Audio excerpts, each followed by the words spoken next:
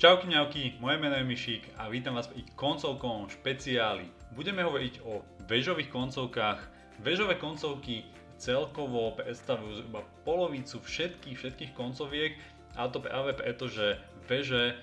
či už obidve alebo jedna nám najčastejšie zostávajú práve v koncovkách a to z e, takého jednoduchého dôvodu, nakoľko tie veže na začiatku partie sú zaseknuté, zaseknuté úplne v rohoch a do boja sa dostávajú v zásade medzi poslednými figurami, najčastejšie alebo zväčša, e, tak práve preto zostávajú najdlhšie pre a tým pádom z, z nich vzniká najviac koncoviek. Celkovo vežové koncovky sú veľmi, veľmi obsiahle, bohaté a je ich strašne veľa ako keby typov a možností a kombinácií, ale môjim cieľom je zoznámiť vás s takými úplne základnými, základnými princípami, technikami práve týchto, v týchto vežových koncovkách, ktoré keď budete vedieť, tak viete na nich e, buď stavať ďalšie vaše znalosti a zručnosti, alebo minimálne si, eh, si nejaké pozície, ktoré vám vzniknú eh, vďaka týmto základným koncovkám si budete vedieť odvodiť a budete vedieť, ako v nich eh, zareagovať alebo pokračovať tak, aby to bolo vo váš prospech. Celkovo teda znalosť koncoviek alebo väžových koncoviek je dobre začať väža proti väži, s jedným pešiakom, čo je taký, taký úplný, úplný základ. Veľmi dobré je, teda keď budem hovoriť za tú bráňacu stranu, v našom prípade je to biely, tak je veľmi dobré kráľom ísť a obsadiť pole premeny, e,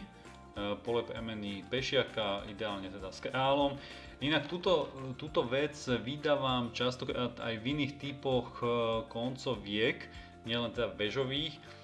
a práve začínajúci alebo menej skúsení hráči uh, majú takúto tendenciu, že uh, či už im zostane strelec alebo jazdec alebo väža, to je jedno, tak ich tendencia je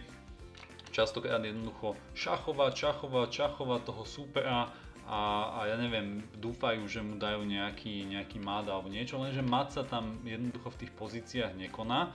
a naopak, keď si možno zapamätáte také jedno všeobecné, veľmi dobré pravidlo, že pokiaľ teda sa bránite, je objektívne dobré si povedať, že áno, tej, v tomto type koncovky, pokiaľ má môj super pešiaka viacej, tak ja bojujem moje remízu a ten postup je taký, že, že kráľom by som sa mal dostať na pole premeny toho pešiaka a tým pádom ho blokovať. Je to veľmi účinná obrana alebo, alebo zbraň, ktorá platí vo všeobecnosti, samozrejme, že sú výnimky, ale tým sa tu nechcem venovať, ale v drvivej väčšine, pokiaľ si toto zapamätáte a teda keď vám vznikne akákoľvek koncovka, kde budete mať pešiaka menej, eh, keď sa viete dostať kráľom na políčko jeho premeny, tak z drvivej väčšine prípadov tú partiu sa vám podarí zachrániť. A to je pre vás dôležité. Naopak, pokiaľ ste tá útočiaca strana, alebo tá strana s výhodou, tak práve to pole, v našom prípade je to E1, to pole premeny sa snažíte vy obsadiť buď svojimi figurami alebo, alebo svojim kráľom, aby ste vlastne podporili postup toho uh, pešiaka. No ale poďme sa teda pozrieť k tejto uh, základnej typovej pozícii, ktorá sa častokrát aj v knižkách a všade vlastne uvádza ako, ako Filidorová štúdia ale je veľmi, veľmi dobre poznať, lebo vlastne od nej si viete odvodiť a um, x ďalších uh, väžových koncoviek a viete ich uh, potom zachrániť alebo prípadne aj vyhrať, pokiaľ váš super ich ako keby nepozná. Pešiak sa teda snaží dostať dopredu, premeniť sa na dámu, no a navyše teda má podporu jeho kráľa, čierna väža stojí veľmi aktívne, pretože blokuje alebo odrezala úplne toho, čie, toho, biele, toho bieleho kráľa. Na druhej strane biely kráľ stojí v podstate veľmi dobre, lebo stojí na poličku premeny toho pešiaka, takže mm, veľmi aktívne bráni. Keby ten kráľ, vymyslím si, stál na poličku A8, tak e, asi by to bola ľahká výhra pre toho čierneho, pretože ten král by bol úplne vzdialený. Inak tu opäť odbočím, ja sa, e, ja sa jednoducho nemôžem tomu ubrániť ale opäť vychádzam iba z tých skúseností, čo mám a z, tým, z toho množstva party, čo som videl. Spolupráca figúr. Ja som to možno spomínal už v x ďalších videách, zvlášť pokiaľ teda máte figúr menej a menej, v našom prípade ten biely ich má iba dve, tak je nevyhnutné, aby oni spolupracovali, aby ste dokázali v podstate mm, niečo z tej partie ešte, ešte vytlc, ako sa hovorí. To znamená, túto spolupráca funguje v tom, že ten král blokuje postup toho pešiaka a tá väža, tá biela väža v tejto chvíli odezáva postup toho, toho čierneho kráľa, ktorý by chcel vlastne pomáhať tomu čiernemu pešiakovi. Takže toto je asi tá východisková pozícia, do ktorej sa v viete dostať alebo viete to nasmerovať do nej. No a ako ďalej pokračovať? Jednoducho Eh, pokiaľ ste bieli, tak toto je pre vás pozícia, nazvem to nejaké, že mm, status quo, alebo pre vás je v podstate dobre držať túto, túto pozíciu a v zásade vám stačí pohybovať sa na týchto dvoch poličkách s tou väžou, držať teda rad a v prípade, že ja neviem, by ste dostali šach od veží, no tak jednoducho idem kráľom iba o, o jeden rad vyššie a, a nič sa nedie a takto môžem čakať E, piť kávu a, a jednoducho si to užívať. E,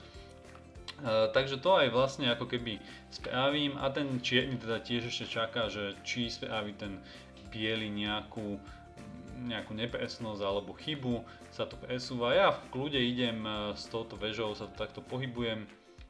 No a na čo, jediné na čo vlastne ten, ten biely čaká je postup pešiaka. Ak sa pešiak dostane na tretiu radu, alebo v prípade bieleho je to 6. E, rada, teda keď tam postupí, tak v tejto chvíli je tá, nastáva vlastne ten, ten obrad alebo ten obchvat, ktorý treba spraviť a to je, že premiesniť väžu na poslednú radu alebo v, v opačnom prípade na prvú a v tejto chvíli je to už vlastne emíza, pretože tá obrana je postavená na tom, že aj keď ten kráľ postupí dopredu, že on pomôže tomu pešiakovi, dáme to ešte chvíľočku naspäť, prečo ten pešiak postupil? Ten pešiak postupil preto, aby mohol postúpiť kráľ, nakoľko on vlastne e, bráni e, tomu, tomu nejakému šachu, ktorý by mu tam mohla dať tá väža. E, takže v tejto chvíli vlastne tomu bielemu hrozí jednoťahový mat väžou, väžou na A1 ale, ale biely tu má jednoduchú záchranu alebo, alebo emízu a to je, že toho kráľa bude non-stop, non-stop šachovať zozadu, šach, šach a takto to bude, takto to môže ísť vlastne do nekonečna a ten, ten čierny jednoducho s tým nič nevie spraviť, jedine, že ja neviem, by došiel ešte od toho pešiaka, ale tým pádom je to už úplne uh, ako keby ľahká emíza. Takže toto je uh, filtrová štúdia alebo filtrová pozícia, ktorú je um, veľmi dobre poznať, určite pokiaľ uh, trénujete šachy, tak si sa s tým už, uh, už stretli alebo vám o tom vaši tréneri hovorili. Uh, je to naozaj typová pozícia, ku ktorej sa snaží tá slabšia strana ako keby dopracovať a uh, ten, e, a tá silnejšia strana v zásade s tým e, nič nevie, nevie ako keby spraviť. Ešte jedna taká možno dôležitá vec, ja to dám, e, ja to dám na začiatok, že pokiaľ teda smerujete do nejakej takejto, takejto pozície, tak kráľa sme si povedali, že kráľa ako tá bráňaca strana sa snažíme umiestniť na to pole premeny toho pešiaka, ale ešte, že kam sa snažíme umiestniť väžu, väžu sa snažíme umiestniť na tú E, na tú dlhšiu stranu od pešiaka. To znamená, dlhšia strana je v našom prípade uh, dámske krídlo alebo, alebo teda stĺpce ABCD. Kratšia strana by bola, uh, by bola kráľovské krídlo stĺpce FGH. A prečo je dobré dať tú väžu vlastne na tú dlhšiu stranu? No z toho dôvodu, že ona sa jednoducho potrebuje pohybovať na tej, na tej tretej rade a pokiaľ by bola na tej kratšej strane, tak tu v podstate na tieto polička ona ani by e, nedokázala vstúpiť. Takže to je len taká možno e, pod, podrada alebo všeobecná rada, e, ktorú aj častokrát teda spomínam na tréningoch. Jednoducho si zapamätať, že vežou čo najďalej od kráľa, alebo, alebo v tomto prípade je to aj čo najďalej od toho, od toho pešiaka. No a princíp Filidovej obrany, ešte asi to zopakujeme, držíme status quo, nepúšťame kráľa a čakáme iba na postup pešiaka. V prípade, že pešiak postupí, pešiak postupí dopredu, bežu automaticky dávame dozadu a následne už iba šachujeme a týmto pádom vynútime remízu. Ďakujem vám veľmi pekne za pozornosť. Ak sa vám toto video páčilo, budeme rád za váš like, dislike, komentár, samozrejme odber tohto videa a teším sa na vás pri ďalších koncovkových špeciáloch. Čauky mňauky, moje meno je Mišík.